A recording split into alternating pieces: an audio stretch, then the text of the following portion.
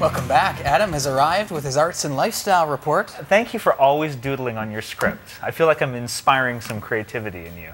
So A few, thank you few for- stray lines, Adam. Take it away. All right, a musical icon is returning to Vancouver Island. Leonard Cohen is launching the Canadian leg of his North American tour in Victoria on March 6th. Dance me to the children who are asking to be born. Cohen is touring in support of his 12th studio album, Old Ideas. The concert will include a nine member band playing almost 30 songs, ranging from new material to his greatest hits. The Save on Foods Memorial Center show is part of Cohen's second swing through North America, and the tour has earned regular sellouts and rave reviews. Tickets go on sale Friday, January 18th at 10 a.m. Well, a Victoria artist is destroying one of her paintings today to protest against the proposed Northern Gateway pipeline. Start here. Anne Hansen started covering her bold landscape with black paint this afternoon. The canvas featured images of coastal life, such as birds and sea lions. Hansen says that similar paintings have sold for up to $8,000, but the cost of a real oil spill would be priceless. That this is what an oil spill looks like. That these species will be blacked out, basically.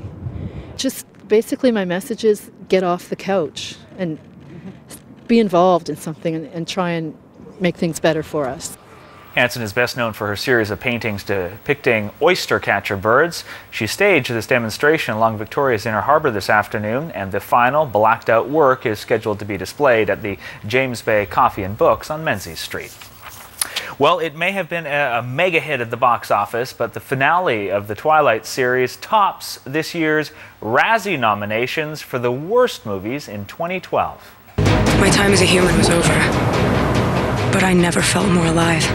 Twilight's Breaking Dawn Part 2 was nominated in 11 categories, including Worst Picture and the lead acting spots for Kristen Stewart and Robert Pattinson.